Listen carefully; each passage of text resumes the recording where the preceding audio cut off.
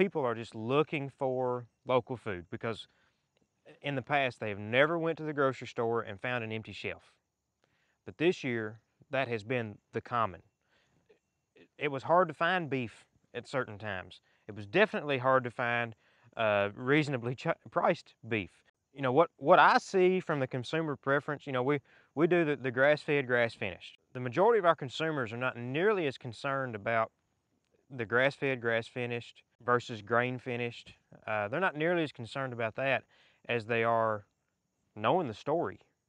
I mean, our customers are customers that are, they're not necessarily looking for the best price. They're not necessarily looking for, uh, they're not looking for Hereford beef or, or Charolais beef or, you know, they're not looking for that kind of thing. They're looking for an experience to go along with, with, that, with that product. You know, we did an acre of sweet corn this year.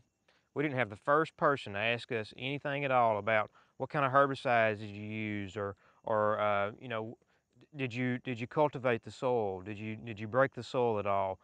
We didn't have questions about that kind of stuff. The consumers do, not seem to me to be as concerned about that as they are uh, the local and the, and the relationship. Um, so we are doing uh, non-GMO corn and non-GMO soybeans um, primarily because the that's that's what my board has has has has has asked for. That's what that's what they want. Um, but non-GMO corn is very popular in this area. Uh, we have a really good market for non-GMO corn because of the distilleries. Um, there are some distilleries that that uh, that actively seek uh, non-GMO corn. Actually, most all of the distilleries actively are looking for non-GMO corn um, for for their, for their bourbon. We typically are able to get some premium on that on that non-GMO corn and have comparable yields to what the to what the, the, the GMO crops are in the area.